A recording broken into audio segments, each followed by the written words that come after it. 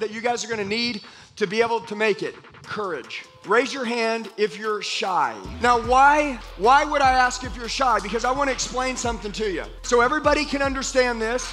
I'm shy. I am shy. My wife is shy. She's a very shy person. Here's the deal though. What we learned really quick was when we got in cells, being shy was gonna be our biggest enemy. You guys, you ever heard the term everything you want in life is on the other side of being uncomfortable?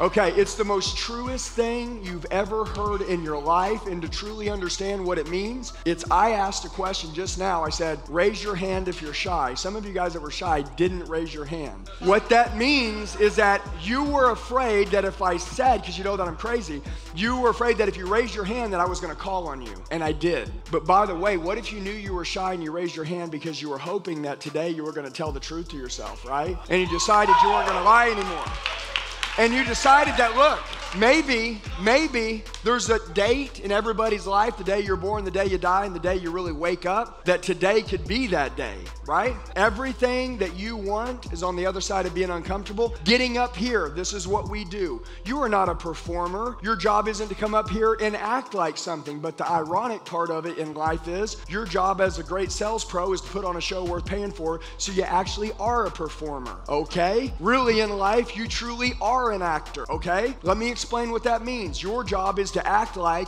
there's nothing more important than your customer. Am I right? And by the way, you have other things going on in life. I know you do. But you have to make sure that you act like your customer is the most important priority right now when they're in front of you. Because if you don't, they won't feel like they are. Am I right? When's the last time you went and bought some something from somebody and you were blown away by the way they treated you? Blown away and you said, I want to buy everything off this person forever. Probably didn't happen in a long time because it doesn't exist. That's why it's so easy to be great. So, my goal is what I want you to understand is this we've got her, we've got him. Look, number one, getting embarrassed means nothing. How much money does it cost you to get embarrassed? I mean, like, it doesn't cost you anything.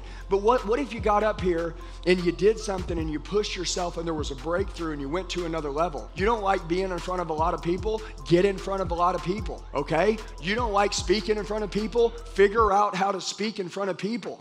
Look, guys, I'm gonna say this the number one most important thing in life that you'll need as a closer, a salesperson, is if somebody's gonna be a high achiever, is you'll need massive certainty. Write that down. Massive certainty, massive certainty. Certainty means this that whatever it is that you say, you truly believe it and you say it with conviction and believability so that the person that you're talking to believes it. Does that make sense?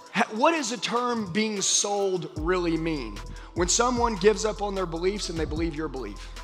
Do you guys want me to say it again? How is a sold made? How does somebody sell something? Somebody gives up on their belief and they believe in yours. Does that make sense? Now, how do you get someone when they come in and they're not really thinking about buying to think thinking one to, to buy something? Well, number one, we treat them like a buyer. Am I right? Number two, we put on a show worth paying for. We have a great attitude. Okay. Number three, what do we do? We have the courage to take them through the process, increase their state. Guys, when people get their state increased, does it make them want to say yes to whatever it is you have? Yes. Whose job is it to increase their state? Is it yours? That's right. It's your job to increase their state estate. I see people all the time, they're like, this guy's just not wanting to buy anything. I'm like, well, dude, look at you.